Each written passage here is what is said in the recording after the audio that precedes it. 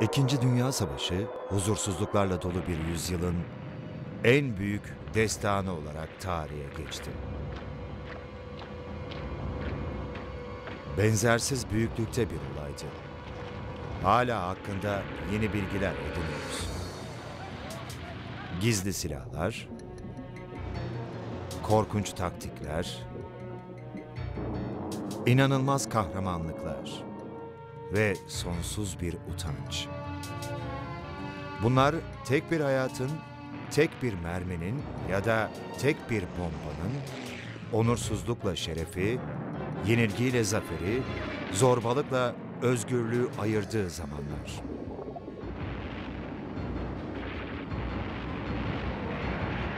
İkinci Dünya Savaşı'nın bilinmeyen hikayeleri.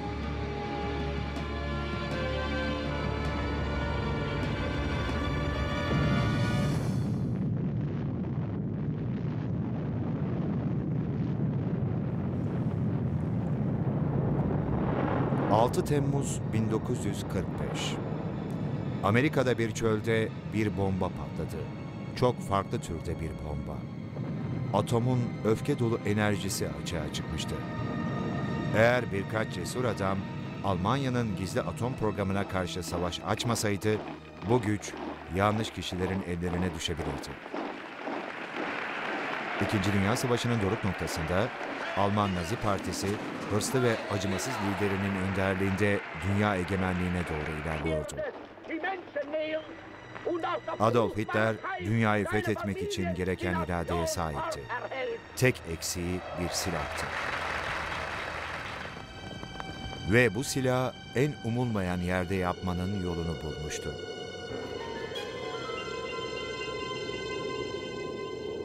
Burada Norveç'in karlı dağlarında birkaç kayaklı asker Hitler'in dünyanın en güçlü silahına sahip olma hayalini sona erdirecekti. Artık yaşlanan bu askerler gençliklerinde özgürlük uğruna hayatlarını nasıl tehlikeye attıklarını hatırlıyorlar.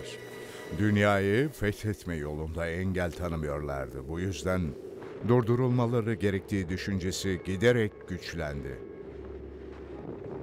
Almanlar tarafından yakalanırsak öldürüleceğimizden kesinlikle emindik. Başarı ancak üç cüretkar girişimden sonra gelecekti.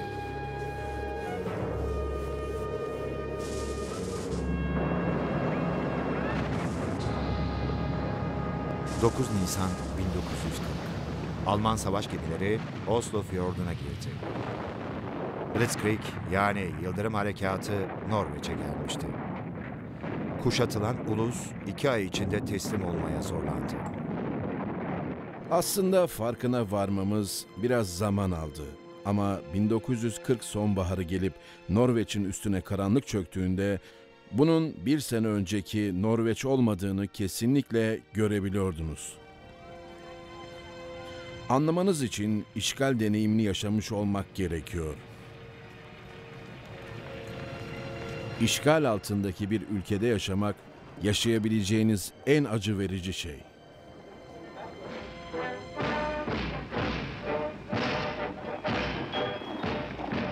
Ülkeyi dev bir işgal ordusu istila etmişti. Naziler artık Norveç'te hayatı her yönüyle kontrol ediyorlardı. Norveçli ile Alman arasında yaşanan birebir çatışma yoktu. Hayatımızı en iyi şekilde sürdürmeye devam etmek zorundaydık. Sanırım ortak görüş buydu. Ama tabii ki Norveçlilerin çoğu onlardan nefret ediyordu. Direnişin oluşmaya başladığını anlayınca Norveç'e Gestapo'yu getirdiler. İnsanları tutuklamaya, işkence etmeye, öldürmeye başladılar.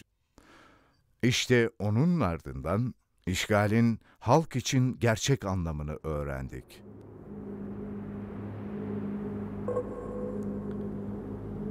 Hitler'in baskısı ülkenin her köşesine kadar yayılıyordu. Bu uzaktaki Norveç Vadisi'nde Almanlar özel bir ganimet ele geçirdi. Norsk Hidroelektrik Santrali. Dağlarla çevrili santral, derin ve geçilmesi imkansız bir boğaza bakan bir yamacın üstüne kurulmuştu. Naziler açısından burası savaş zamanı üretimleri için ideal bir yerdi. Bombalaması zor ve savunması kolay. Ama Norx Hydro, Berlin'deki generaller için bundan da fazlasını sunuyordu. Burası dünyada 1940'ta çok nadir bulunan bir maddenin büyük miktarda üretildiği tek hidroelektrik santraliydi.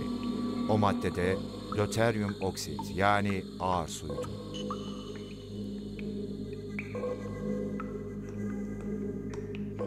Fabrikanın kontrolünü ele geçirir geçirmez yüksek seviyede üretime başladılar. Haberler İngiltere'ye ulaştığında müttefikler yaklaşan felaketi gördüler. Bir Alman atom bombasının en muhtemel hedefi olarak İngiltere büyük bir tehlike altındaydı. Onlara ve dünyaya asla unutamayacakları bir ders verene dek onlarla savaşmaktan asla vazgeçmeyeceğimizi anlamamış olabilirler mi? Winston Churchill'in Nazilere karşı cesaret dolu meydan okuması, işgal edilmiş Avrupa'nın her yerindeki direniş güçleri için bir harekete geçme işareti oldu. Savaşmaya hevesli genç Norveçliler, İngiltere'de toplanan sürgün ordusuna katıldılar. Almanları ülkeden kovmaya çalışmak için göze alamayacağımız fedakarlık yoktu. İngilizler direniş ateşini harlamak için özel operasyonlar adında gizli bir örgüt kurdu.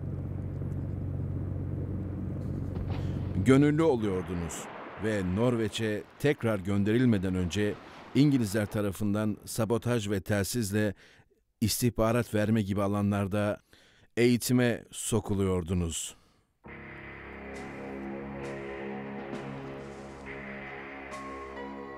Birkaç genç direnişçi ağır su santralini yok etmek için gizlice Norveç'e sızacaktı.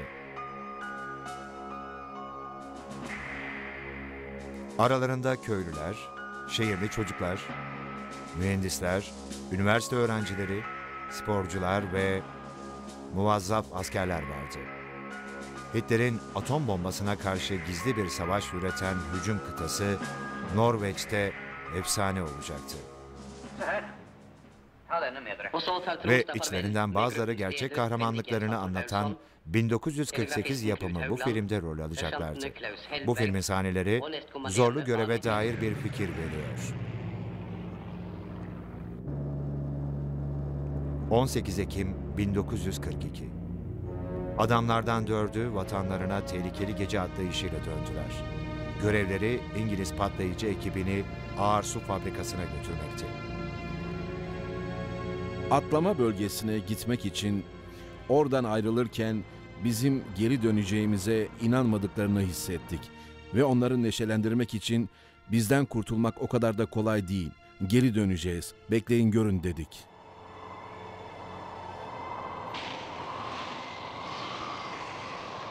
Hedefimiz ağır su üretimiydi. Hepsi bu kadardı. Bunun önemli olduğunu ve yok etmemiz gerektiğini söylediler. Ağır suyun Almanların silah üretimi için önemli olduğunu biliyordum. Ama ne şekilde işe yarayacağını hiç bilmiyordum. Komandoların birinci görevi, santralin kuzeyindeki dev bir ova olan Hardangervida'da gizli bir iniş alanı belirlemekti. Bu büyük araziyi geçen Norveçliler, boş bir kulübeye yerleşip İngiltere ile telsiz bağlantısı kurdular. Operasyon artık başlayabilirdi. İngilizler ilk sortide bombardıman uçakları tarafından çekilen planörler gönderdiler. Bu plan için açık bir havaya ihtiyaç vardı. Ama Norveç üstünde bulutlar, rüzgar ve kar görüş mesafesini neredeyse sıfıra indirmişti. Aşağıdaki Norveçliler için bu uçuş eli kulağında bir felaketti. Bir bağlantı kurup İngilizleri uyarmaya çalıştım. Ama bu mümkün değildi. Derken bir anda kulaklıklarımda parasit duydum ve çok uzakta olmadıklarını anladım. Hemen ardından uçağın sesini duydum. Tam bize doğru geldi. Üstümüzden geçti ve kayboldu. Yarım saat kadar sonra planörlü diğer uçak doğrudan şekilde bize doğru geldi. Sonra da dönüp uzaklaştı. İngiliz birlikleri buluşma noktasına asla gelmediler.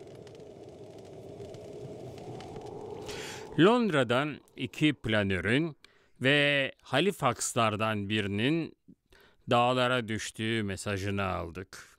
Operasyon böylece tam bir felaketle sonuçlanmıştı. Kazadan sağ kurtulan askerler yakalandı ve idam edildi. Müttefiklerin ağır su üretimine karşı yürüttükleri gizli savaş artık açığa çıkmıştı. Komandolar yakalanmamak için Hardan Gervida'nın içlerine doğru çekildiler. Kar ve buzdan başka neredeyse hiçbir şeyin bulunmadığı topraklarda haftalarca hatta aylarca yaşamak zorundalardı. Planör görevi başarısız olunca dağlarda kalabilmek için erzağımız da kalmamıştı. Tek umudumuz rengeyikleriydi. Ama o sırada bulunduğumuz bölgede rüzgarın yönü yüzünden ya çok az rengeyi vardı ya da hiç yoktu.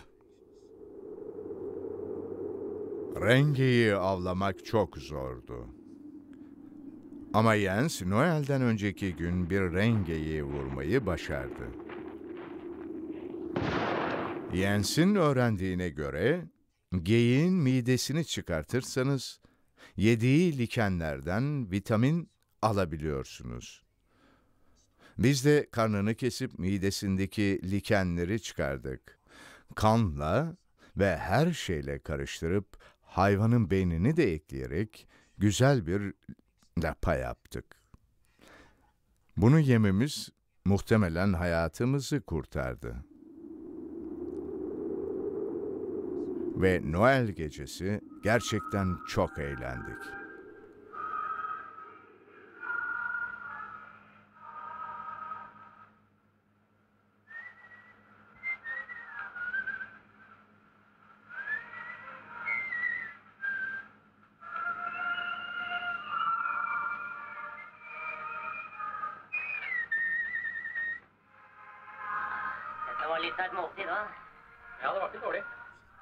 Sohbet ettik. Noel'de çok güzel vakit geçirdik. İyi hatırlıyorum. Çok iyi. Yoldaşlarınızla iyice içli dışlı oluyorsunuz. Daha ağzını açmadan ne diyeceğini biliyorsunuz. Çok güçlülerdi. Dayanma iradesinden başka hiçbir şeyinizin olmayacağı bir yerde dayanmak için gereken iradeye sahiptiler. Kışın en karanlık aylarına katlanabilmeleri gerekiyordu. Ama Nazilerin değerli ağır su stoğu her geçen gün damla damla artıyordu. Londra'nın bir hamle yapması gerekiyordu.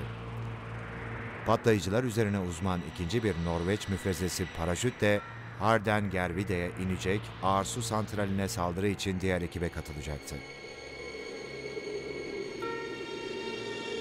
16 Şubat 1943 Gecenin karanlığında paraşütle komandolar indi. Komandolar artık Hitler'in atom bombasına saldırı yapmaya hazırlardı. Tabi eğer santralin mükemmel ve ölümcül savunmasını aşabilirlerse.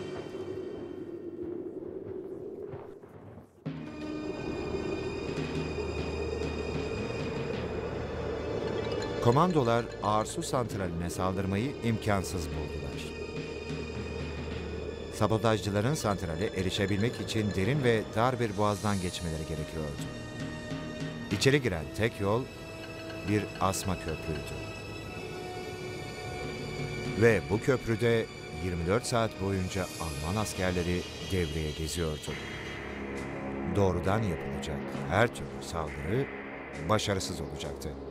Ama dimdik buz duvarlı boğaz korunmuyordu. Biri bu boğazı geçmenin imkansız olduğunu düşündüğünü söylemişti ama sonra birimizin oraya gün ışığında gidip bakmasına karar verdik. Sabah vadiye indim. Boğazın dibine vardım, nehri geçtim, öbür yakaya tırmanmaya başladım. Sonra da aynı şekilde dağdaki arkadaşlarıma geri döndüm. Ve boğazı geçmenin aslında mümkün olduğunu söyledim.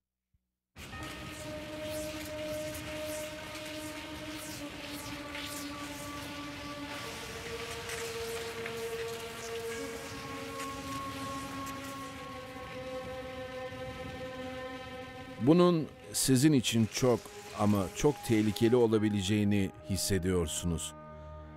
Ve sağ çıkamayacağınızı kabulleniyorsunuz.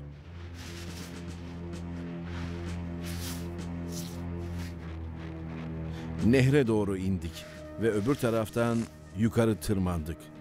Planımız saat 11.30'da saldırı konumuna geçmekti. Çünkü gece yarısı 12'de köprüde muhafızlar oluyordu.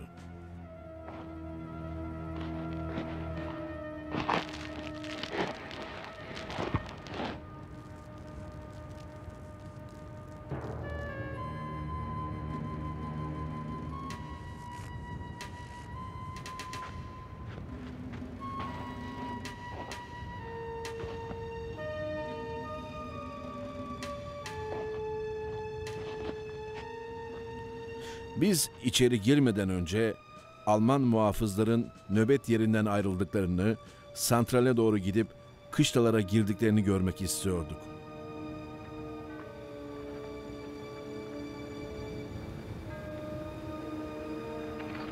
Kapıyı zorladığımız sırada hepimiz görüleceğimizi düşündük. Ama hiçbir şey olmadı. İki kişi iki ayrı patlayıcı paketi taşıyorduk. Birimizin vurulması durumunda bir yedek olmalıydı. İmha ekibinin görevi bodrum katındaki bir odada bulunan ağır su hücrelerine patlayıcı yerleştirmekti. Bu sırada gözetleme yapan arkadaşları bekliyorlardı. Geçen her an yakalanma riskini artırıyordu. Eğer bizi görselerdi böyle durumlarda harekete geçmemiz gerektiğini biliyordum. Ateş mi edecektim? Bir silah sesi belki de bütün operasyona zarar verirdi. İçeride Norveçli bir işçiyi etkisiz hale getirdiler. Başına bir silah dayayan sabotajcılar patlayıcıları yerleştirdiler. Sadece patlamadan önce kaçmaları için ne kadar süre kalacağını hesaplamak için duraksadılar. Ama tutsakları son anda işlerini böldü. Konuşmamızı kesti ve dedi ki, sorun değil, santrali patlatabilirsiniz. Önemi yok. Ama gözlüklerimi bulabilir miyim? Çünkü bugünlerde Norveç'te yeni gözlük yaptırmak imkansız. Bizim başlatma gözlüklerine dememizi beklersiniz herhalde. Ama bunun yerine işimize ara verip bütün odada adamın gözlüklerini aramaya başladık. Ve sonunda gözlüklerini bulup verdik. Bize çok teşekkür etti ve fitilleri bağlamaya devam ettik.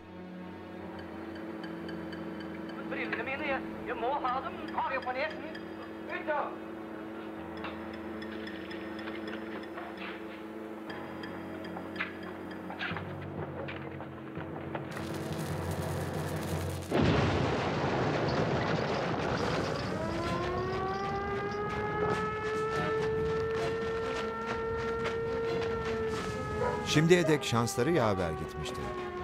Komandoların kaçmak için artık sadece saniyeleri vardı. Ve birkaç dakika sonra belki bir ya da iki dakika içinde tren yoluna yanımıza geldiler. Aynen geldiğimiz yoldan geri kaçtık.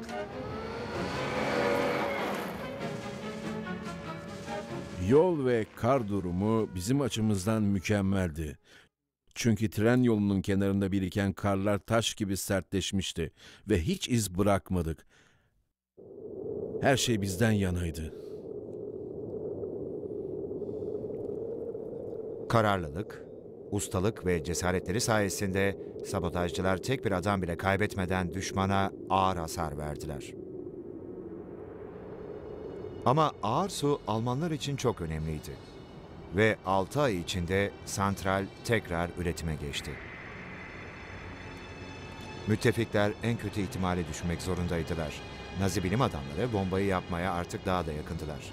Santrale bir saldırı yapılması daha planlandı. Bu seferki havadan olacaktı. Cesur bir gündüz baskınında 176 Amerikan bombardıman uçağı santralin imha edildiğinin müjdesini verdi. Baskın santral binalarını tahrip etti ve yakınlardaki bir sığınaktaki sivilleri öldürdü. Ama bodrum katında güvenceye alınan ağır su hiçbir zarar görmemişti. Almanlar üretimin durmasıyla güvenlik açısından operasyonu ana vatanlarına taşımaya karar verdiler. Ama böylece istemeden de olsa komandolara saldırı için son bir şans daha tanıdılar. Londra'dan gelen bilgiye göre Almanlar ellerindeki ağır su depolarını söküp götüreceklerdi.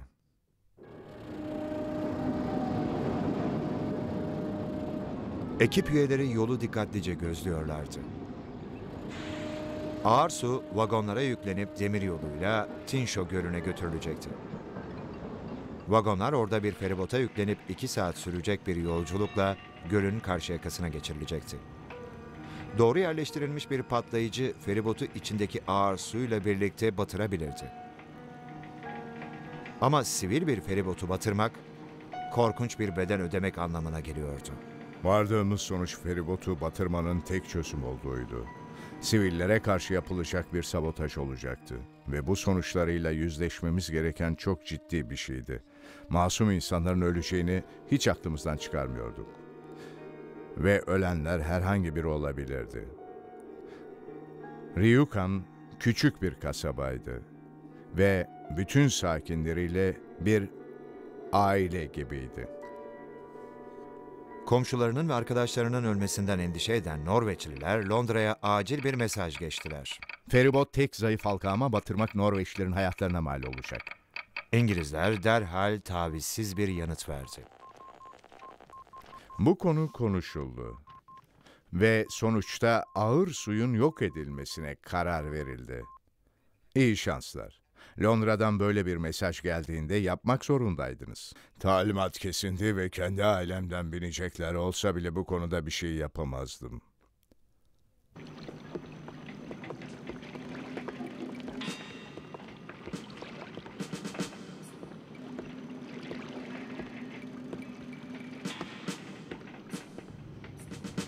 Almanlar feribota hiç muhafız yerleştirmemişlerdi. Tren yolundayken varilleri koruyorlardı ama feribotta hiçbir güvenlik önlemi yoktu.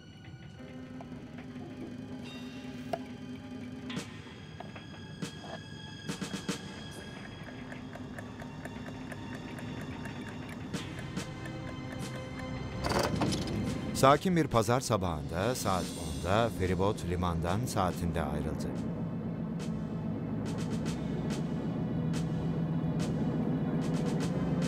...45 dakika sonra kararlaştırılan noktada bir patlama geminin altını parçaladı.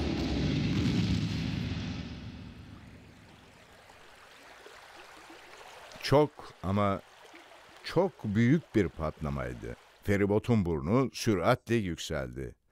Taşıdığı bütün kargo ve vagonlar arkaya sürüklenince gemi daha da dikleşti.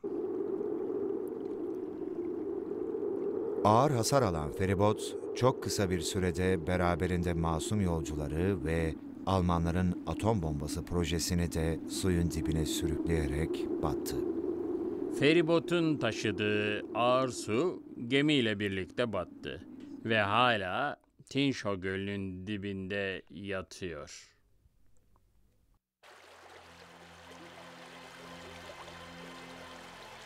Bir süre sonra müttefikler Nazilerin atom bombası yapacak düzeye asla erişemediklerini öğreneceklerdi.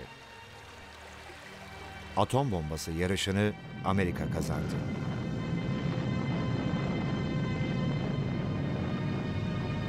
Almanların yenilgisinden birkaç ay sonra Amerika ilk atom bombasını attı. Ama müttefiklerin elinde atom bombası savaşı kazanmak için kullanıldı. Sürdürmek için değil. Eğer bomba Hitler'de olsaydı bunu dünyayı yıkmak için kullanabilirdi. Norveçli direnişçiler onu durdurmak için kendi üstlerine düşeni yaptılar. Görevleri askeri tarihteki en başarılı sabotajlardan biriydi. Ne pahasına olursa olsun yapılması gerekiyordu ve sonucu çok acı olmuştu. Özgürlük ve barış için savaşmak zorundasınız. Bu her zaman elinizde olan bir şey değil. Onu korumak için her gün mücadele etmeniz gerekiyor. Bu cam bir fanusa benziyor. Kırılması çok kolay, kaybetmesi çok kolay.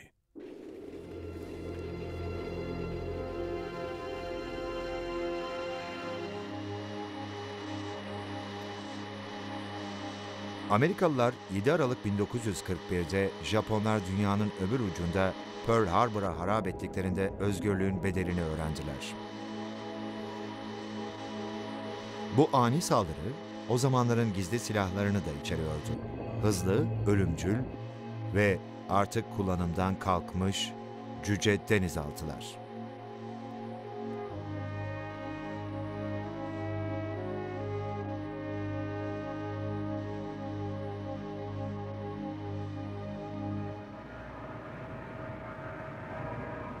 Ulusal Park Hizmetleri ve Amerikan donanması batık bir Japon cüce denizaltısı arıyor.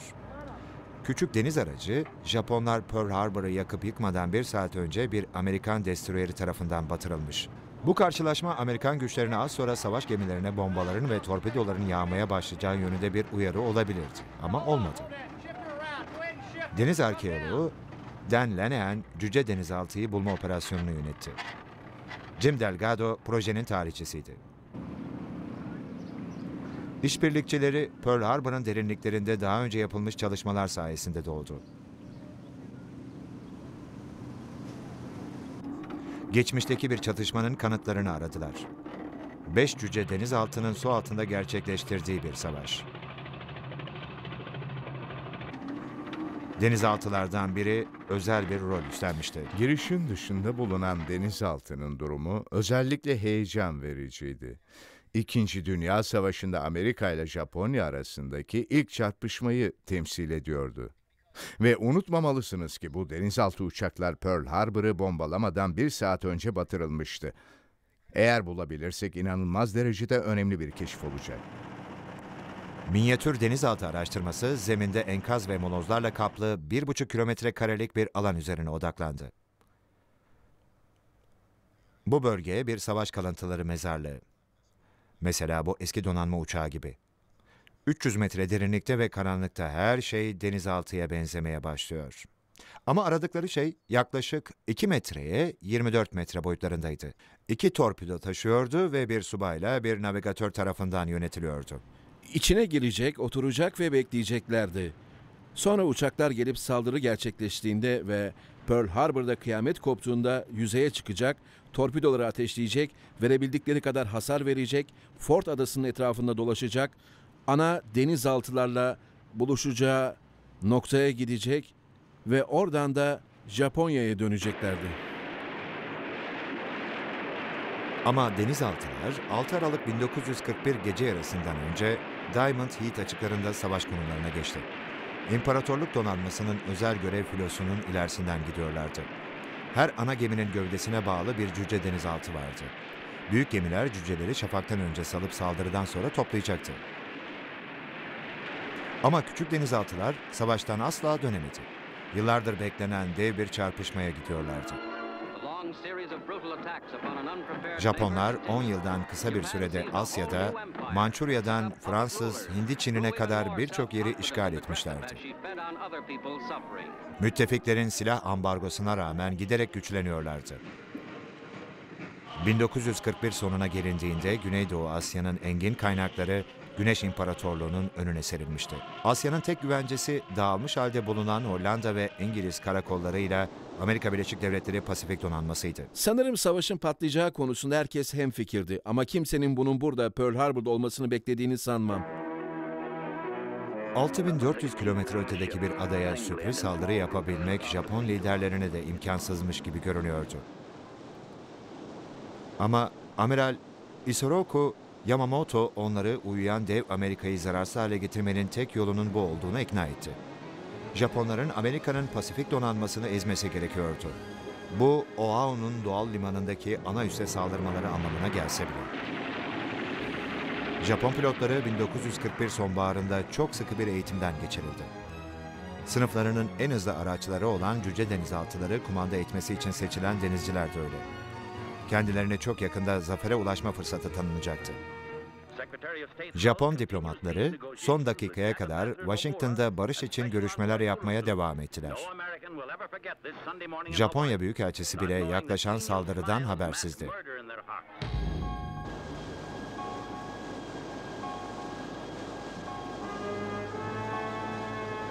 7 Aralık 1941 Oahu uykudayken Japon ordusu Pearl Harbor'a saldırı mesafesine 350 savaş uçağı getirdi.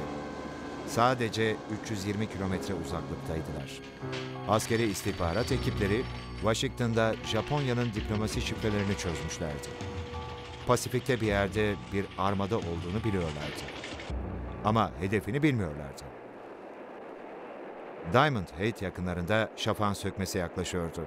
Japon ana denizaltılar, cüce denizaltıları salmak için yüzeye çıktılar. Ama yanlış giden bir şey oldu. Sabah 6.30'da bir deniz uçağı pilotu ve bir şilebin mürettebatı Pearl Harbor'a garip bir denizaltının yaklaştığını bildirdiler. Yakınlardaki USS World Destroyer'inin kaptanı düşmanların filonun içine sızmaya çalıştıklarını anladı. Topçuları ateş açtı. Cüce denizaltı 300 metre derinliğe doğru batmaya başladı. Sualtı bombaları işini tamamen bitirdi. Word, batırdığı denizaltının haberini iki kere geçti. Ama bölge karargahı Pasifik Donanması Komutanı Hazmat E. Uyarmadan önce yarım saat bekledi. Bu gecikme tam saldırganların ihtiyaç duyduğu süreydi. Batırılan denizaltının haberi az sonra olacakları önleyebilirdi. Bu denizaltıyı bombaladıklarının mesajını telsizle iletmişlerdi. Amiral Kimmel'a mesaj ulaşmadı. Ancak uçakların geldiği görüldüğünde yani saldırı başlamadan hemen birkaç dakika önce amirale telefon açıldı ve Wort'un kaptanından bize bir mesaj geldi. Savunma bölgesine yol alan bir denizaltıdan kendisine ateş açıldığını söyledi. Kimmel de bana neden haber verilmedi dedi. Tam üniformasını giyip dışarı çıktığında uçaklar tepesinden geçti ve bombalama başladı.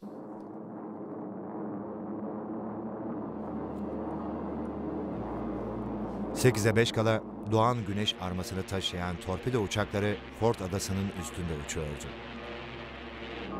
Onlara 51 pikeci bombardıman uçağı, 49 ağır bombardıman uçağı ve 43 savaş uçağı eşlik ediyordu. Amerikan denizcileri bunun bir tatbikat olduğunu sandılar. Bombalar ve mermiler onları kahvaltı ettikleri, üniformalarını ütüledikleri ya da ölümcül gökyüzünü seyrettikleri sırada yakalamıştı.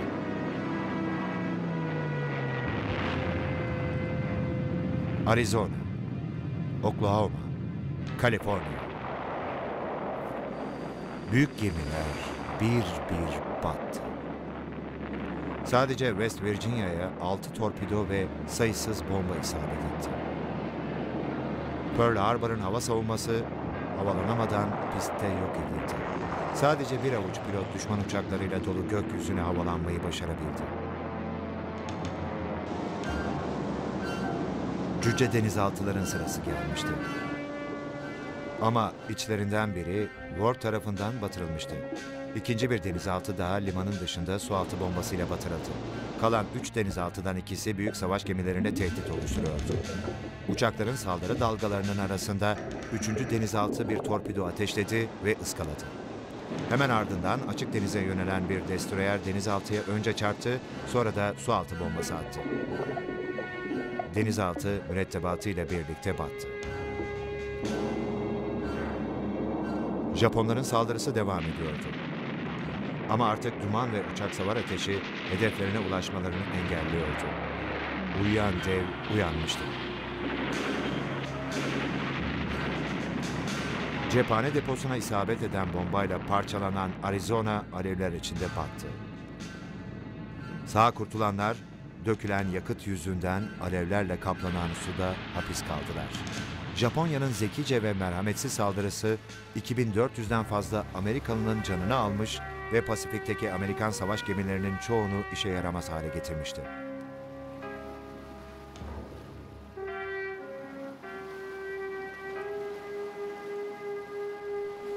Cüce denizaltılar içinse savaş o kadar şanlı olmamıştı.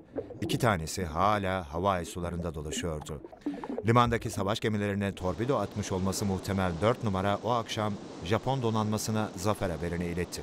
Ardından kayboldu ve bir daha kimse ondan haber alamadı. Denizaltılar başarı gösterememiş olabilirlerdi. Ama Japonya'nın kahramanlara ihtiyacı vardı.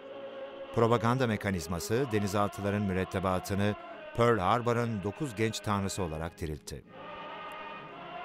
Savaş zamanına ait bu Japon filmi onları abartılı bir lüks içinde gösteriyordu. Gerçekte yaşadıkları bölmeler aşırı dardı ve akülerden çıkan dumanla kaplıydı. Cüce denizaltılar Pearl Harbor'da karmaşa yarattı ama savaşın sonucunu etkilemedi. Peki ya Pearl Harbor'daki son denizaltı? Azteğmen, Kazuo Sakamaki kumandasındaki denizaltıyı batmaktan da kötü bir son bekliyordu. 8 Aralık'ta Başkan Franklin D. Roosevelt savaş ilan ettiğinde Sakamaki'nin denizaltısı arızalı gyroskopu yüzünden Oahu'nun uzak bir sahilinde karaya oturdu. Denizaltı düzgün çalışmıyordu. Adanın bütün çevresini dolaşıp öbür uca çıktı ve 8 Aralık sabahı Belows'ta karaya oturdu. Orada o ve navigatörü gemiyi patlatmaya çalıştılar ama başaramadılar. Suya atladılar. Navigatör hemen boğuldu. Ama Samaki sahile sürüklenip Amerika'nın Pasifik'te ele geçirdiği ilk düşman oldu. Savaş esiri No 1. Sakamaki savaşı hapiste geçirdi. Denizaltısı savaş tahvillerini satmaya yardımcı olması için kötü günlerin bir anısı olarak bütün Amerika'da dolaştırıldı. Japonya, Amerikan donanmasına karşı her şeyini kullandıktan sonra dehşet verici yeni bir silah çıkardı.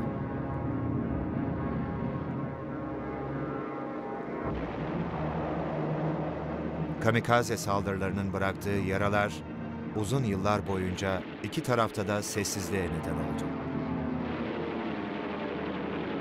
Ama bu savaşlarda çarpışanlar asla unutmayacak.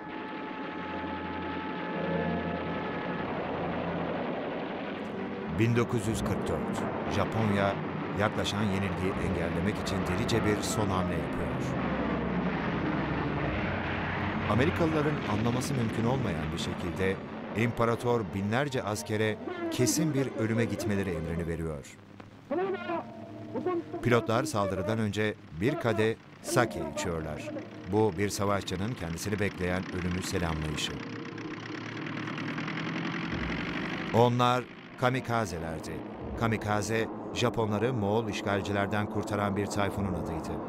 İçlerinden bazıları deneyimli pilotlardı ama çoğu ülkelerinin şanı için ölmeye istekli idealist öğrencilerdi.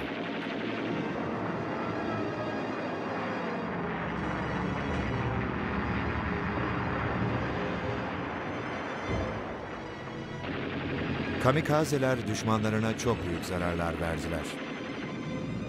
3000'den fazla pilot ölüme uçtu. 57 gemi batırdılar ve 300'den fazlasına hasar verdiler. Saldırılarıyla 3000'den fazla Amerikalıyı öldürdüler ve 6000'den fazlasını yaraladılar. Kamikazeler, Amerikan donanmasına karşı kullanılmış en ölümcül silahtı. O kadar ürkütücü derecede etkiliydi ki başlarda varlıkları Amerikan halkından saklandı.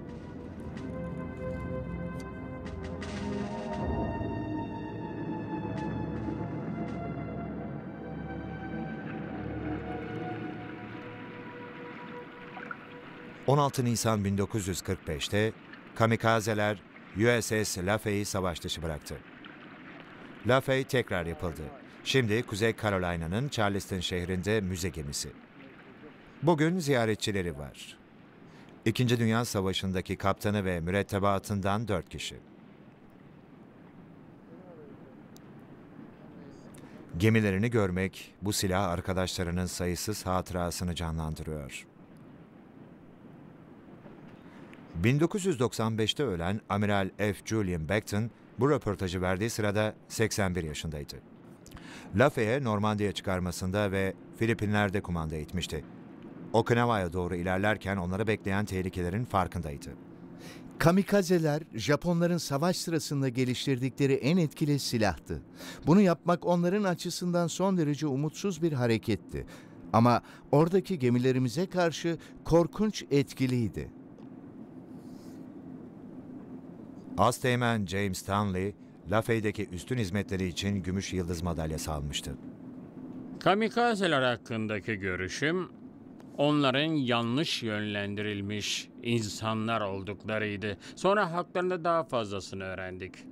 Duyduk ki evet kendilerine kutsal rüzgarın oğulları ya da öyle bir şey diyorlarmış.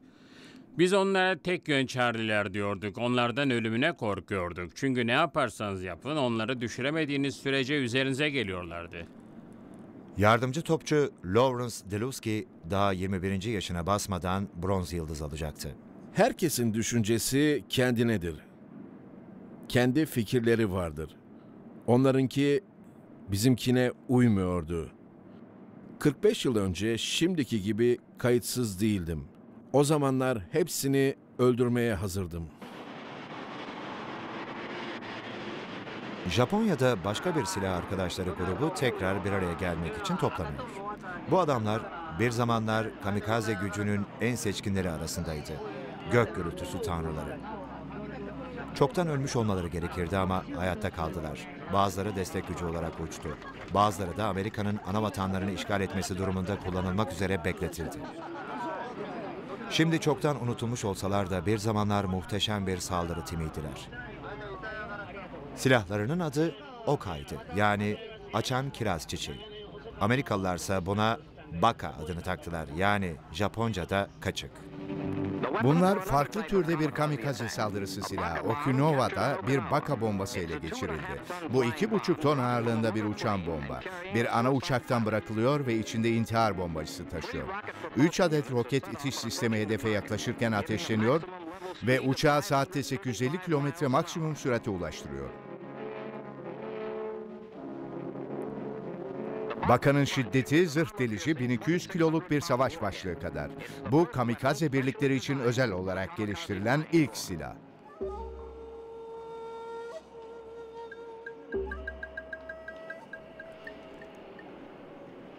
Yedek teğmen Hashiro Hosokawa bir Oka filosunun kıdemli üyesiydi.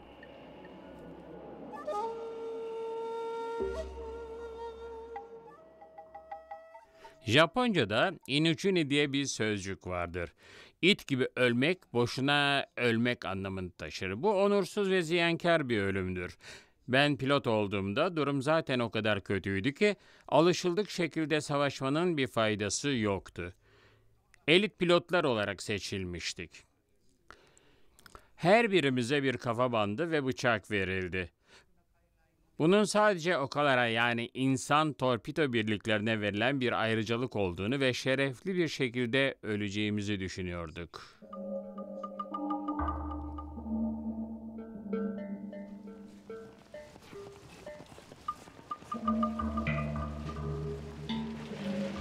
Onlar gök gürültüsü tanrılarıydı. Hepsi de gönüllü olmuştu. Hepsi ölmeye hazırdı. Her yıl ölmüş yoldaşlarını anmak için toplanıyorlar. Kumandan Kunihiro Iwaki bölüğün ikinci komutanıydı.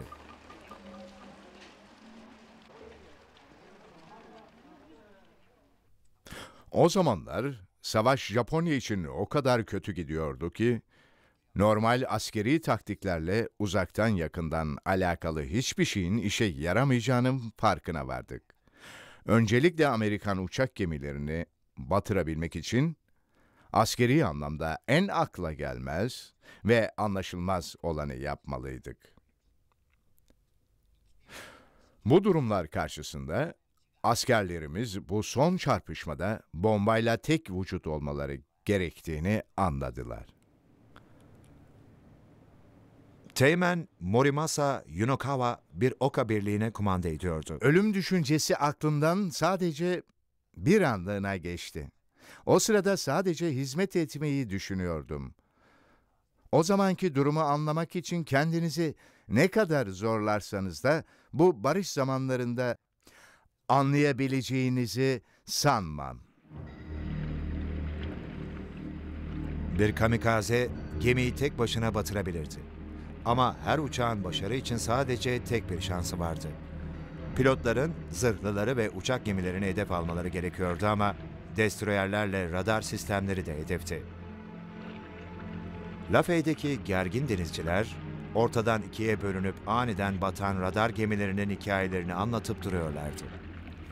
Mürettebat sürekli en güvenli yerin neresi olduğu üzerine tartışırdı. En önemli konu buydu. Aşağısı mı daha güvenli, güverte mi daha güvenli, köprü mü ya da artık neresi ise. Hangisinin en güvenli yer olduğu ile ilgili hepsinin kendi teorileri vardı ama tabii ki güvenli yer diye bir şey yoktu.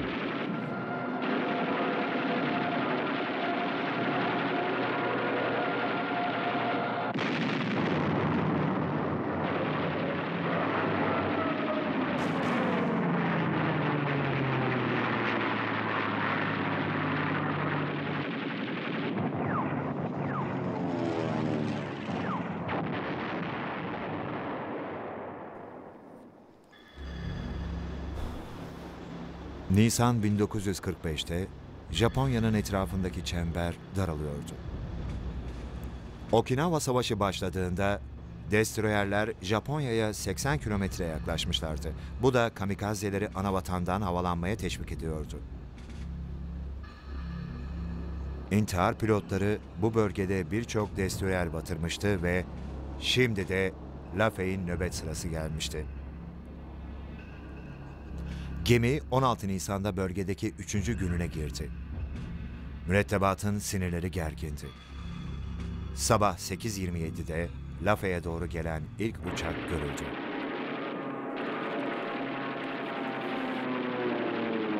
İlk gelen uçaklar epey uzakta çember çizip duruyorlardı. Belki de 8-10 kilometre ötede. Ve derken bir anda sanki bir sinyal almışlar gibi yaklaşmaya başladılar. Başta birer ikişer geldiler ama sonra aynı anda bir sürü uçak gelmeye başladı. Ve hepsini birden ateşle püskürtmek imkansızlaştı. İşte o zaman gemi isabet almaya başladı. Lafay mürettebatı 80 dakika boyunca bir gemiye karşı gerçekleştirilmiş en ağır kamikaze saldırısına karşı koydu. Atlattığımız en büyük tehlike sancak tarafından gelen bir uçaktı. İlk gördüğümde deniz üzerinde çok alçaktan yaklaşıyordu. 10 kilometre kadar uzaktaydı. Eğer topçularımız uçağı indirmezse kesin ölümümüze 8 saniye kadar kaldığını fark ettim. Burundaki uçak savarımız ona doğru durmaksızın ateş ediyordu.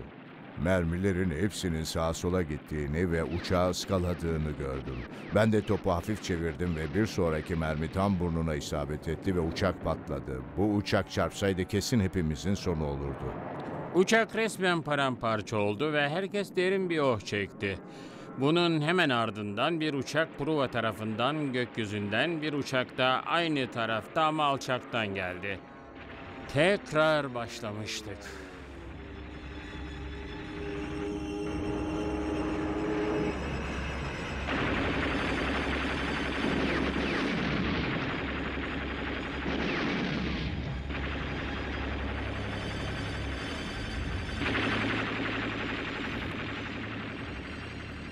16 Nisan sabahı bir kamikaze uçağı bizi tam buradan vurdu.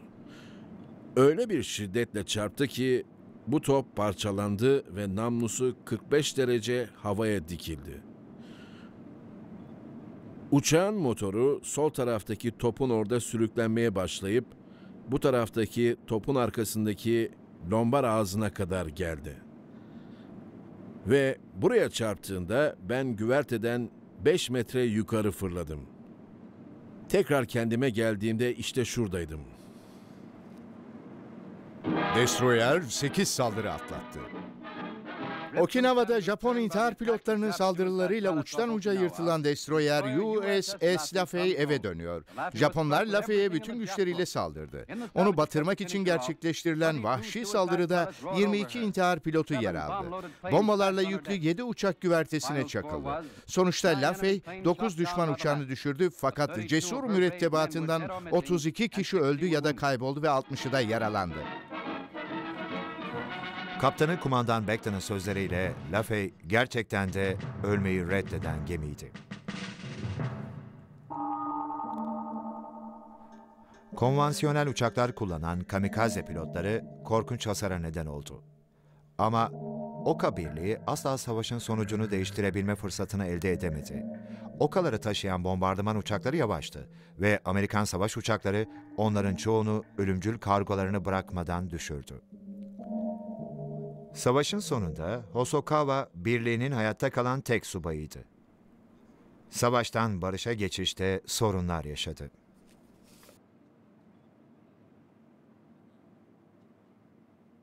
Savaş bir anda bitmişti ve ben Tayfun'un merkezinde kalan biri gibi hissediyordum. Tayfun bir anda sona ermişti. Hava açık ve güzeldi. Benden başka kimse kalmamıştı. Neden diye soruyordum. Bu çok garip ve anlayamadığım bir histi. Neden Tayfun canımı bağışlamıştı? Onlar doğru olduğuna inandıkları şeyi yapıyordu. Aynı bizim doğru olduğuna inandığımız şeyi yaptığımız gibi. Bu böyle olmalı. Yoksa inanmadığınız bir şey için hayatınızı nasıl tehlikeye atardınız?